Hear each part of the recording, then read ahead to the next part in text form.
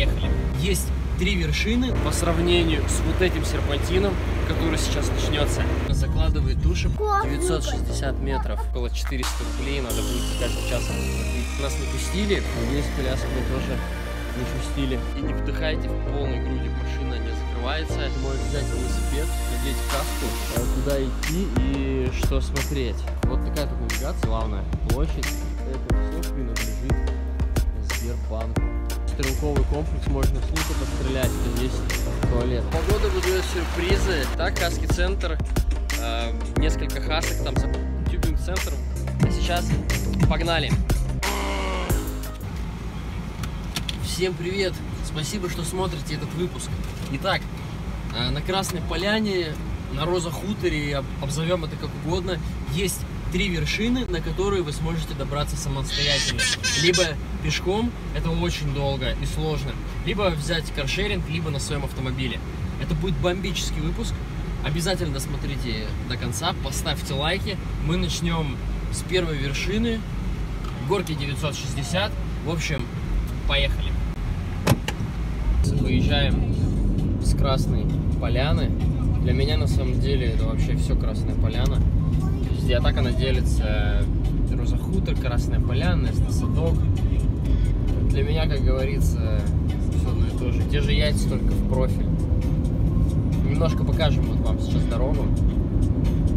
В принципе, у всех есть навигаторы. Сами сможете беспроблемно доехать. Это вот э, квартирный комплекс Катерина Альпика. Здесь тоже можно снять жилье. Но район, по, по мне, так вообще он тухлый, тут нифига нету, и нифига это не центр, а вот окраины, видите, выехали за Красную Поляну. Ладно, поехали. Проезжаем казино, едете дальше. Казино, которое в горке город. Да, вот оно меня будет жена поправлять.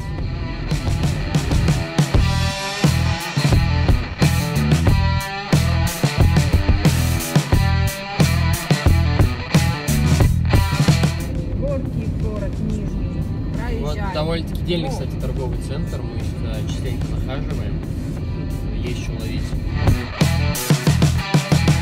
По пути у вас будет вот главная канатная дорога. Отсюда можно уже подняться на подъемниках. Вот смотрите, проезжаете Эстосадок, вот вы выехали с него. Налево дорога уходит вот как раз на платную вершину, на полторы тысячи метров. Туда мы... Смотрите выпуск дальше, увидите последняя вершина нашего этого. Поэтому обязательно досмотрите. И вот, смотрите, у вас начинается круговое движение. И здесь вам нужно повернуть направо. То есть первый, первый съезд.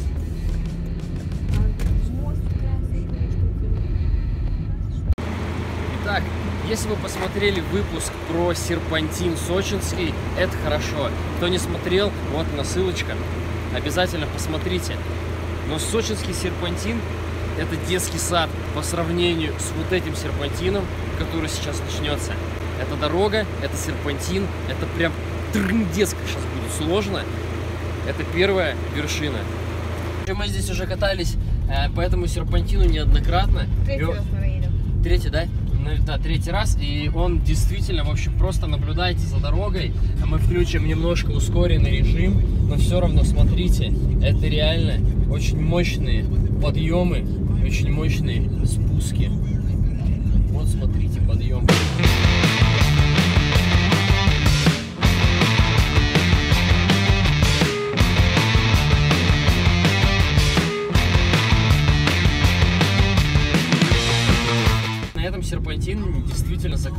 Души, потому что ты едешь постоянно в гору.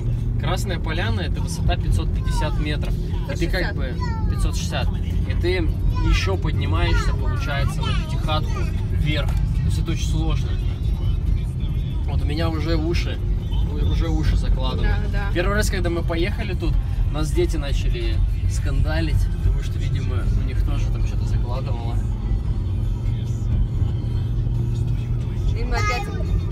И опять... И опять... вон пистолетом выкинул. Ну да. А, точно, и Родион выкинул там. Это важная информация сейчас была.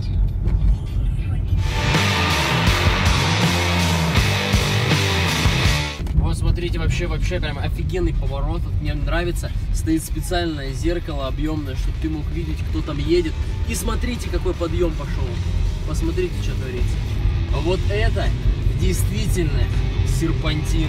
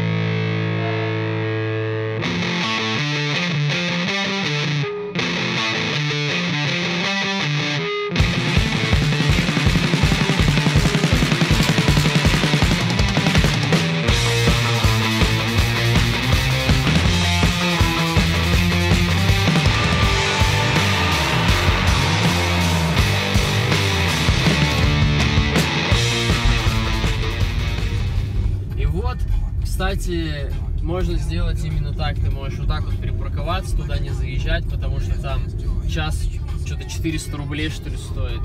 А оставить машину вот именно вот так.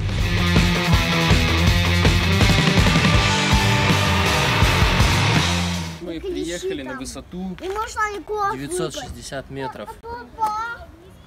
Машину можно здесь оставить и пройти пешком, потому что там въезд э, платный, 30 минут бесплатный, потом около 400 рублей надо будет за каждый час вам заплатить. Либо купить абонемент на целый день, то что-то тысяча с чем-то стоит.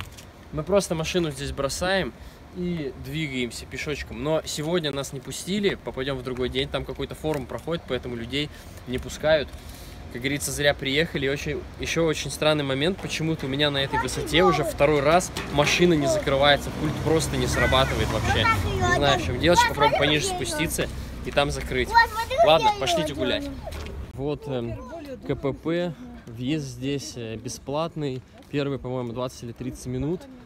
А далее что-то 460 рублей час, по-моему. Вот.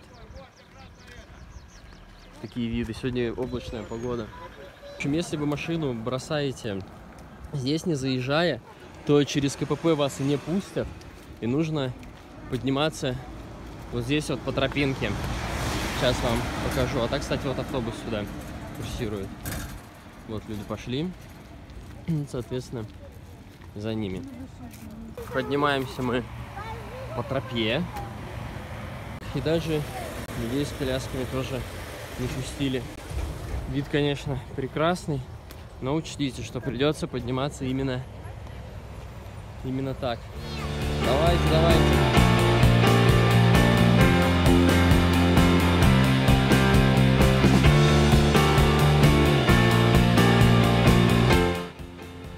Очень красивая облачность, прикольно, как туда подъемники поднимаются. Красивая цветная дорожка. Сидит.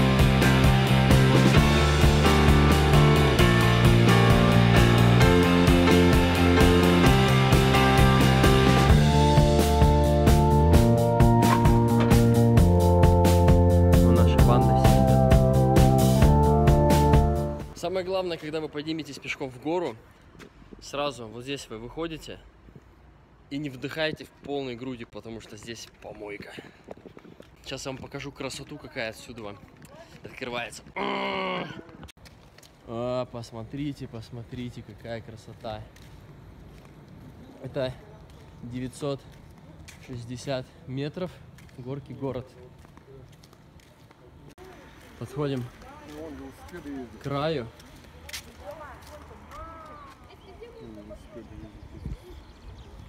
Подъемники. Здесь ездят велосипедисты. Вот такие вот шлемы. Иди посмотрим с тобой. Бабушки, нет, бабушки, так трудно видишь. Если у кого-то также не будет закрываться машина вот на вот этой бесплатной парковке, то отпускайте ее чуть ниже И, по крайней мере, у меня там закрылось. Такой мой совет. Потому что три раза мы сюда приезжали, машина не закрывается, и мы просто уезжали домой. А в один раз мы попробовали спуститься пониже и закрыли. И сегодня именно по такой схеме мы снимаем тут. Поднимаетесь, в общем, от угла. И здесь начинается горки байк-парк, представляете? Здесь вот такая вот дорога. Ты можешь взять велосипед, одеть каску и... Артем, стой! И погнать вот по вот этим вот дорогам. Ну, то не погнали. Трассе. Да, ой, погнал. Оп, оп, оп, оп, как классно. Я бы, конечно, попробовал, но Наська меня не пустит. На этой территории, собственно, есть отели.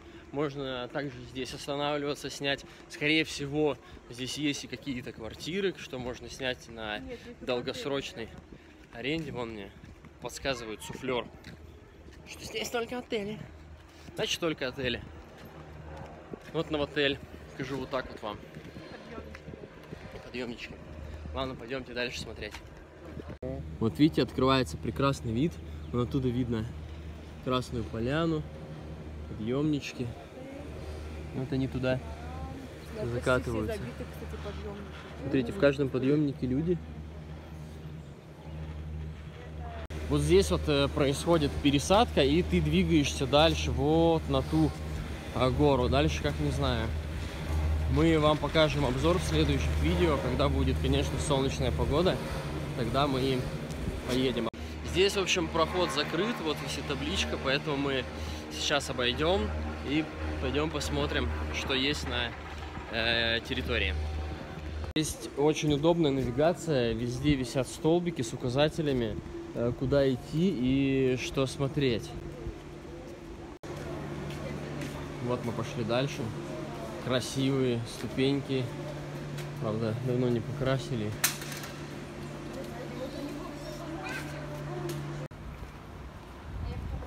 Поднялись. Смотрите, это как будто такая площадь горки город. Центр Сбербанка. Вот сейчас пойдем туда повыше. Вот такая тут навигация, видите? В принципе, все достаточно понятно. Вот мы поднялись, вот это походу такая главная площадь, пересадка канатных дорог.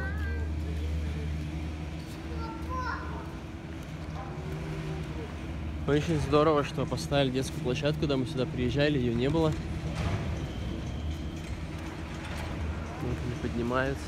Видите, здесь все-все в логотипах Сбера.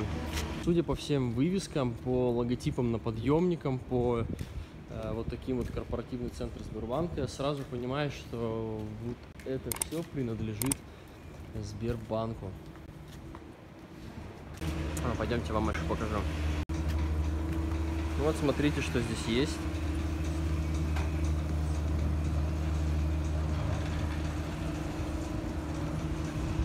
Красота. В солнечную погоду, конечно, здесь гораздо лучше, но когда такая низкая облачность тоже имеет место быть.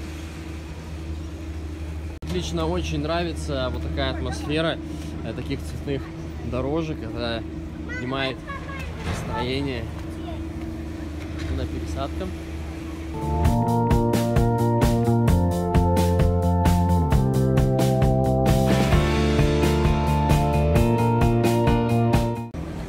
Висит очень удобная схема, вы можете посмотреть, что где находится, какие развлекухи. Да, пересадочку.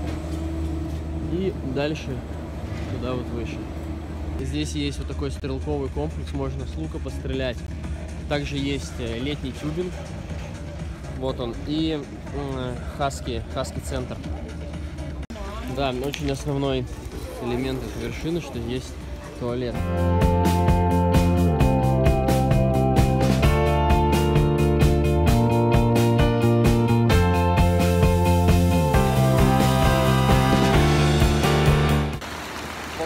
Выдает сюрпризы.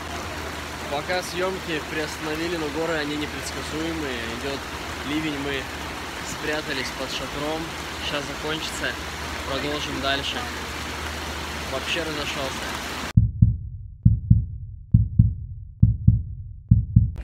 Вот, собственно, это первая э, вершина 960 метров. По сути, здесь э, больше только рестораны и вот э, летний тюбинг, вот он за моей спиной, и Хаски центр. Остальное вот, вот за спиной раз, два, три, четыре ресторана.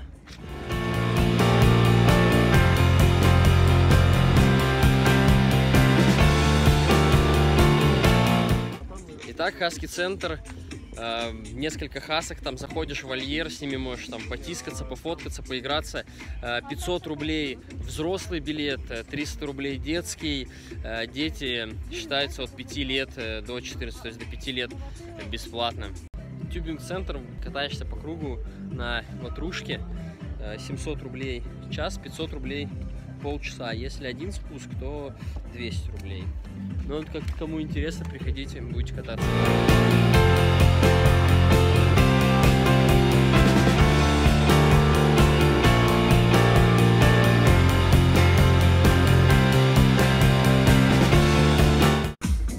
Да, кстати, очень неприметная трасса. Я так понимаю, что это либо для велосипедистов, либо для мотокросса. Вот сделано из песочка довольно-таки прикольно. Вот там деревянные есть трамплины. Ну что, это что касается первой вершины, горки город, высота 960. А сейчас погнали на другую.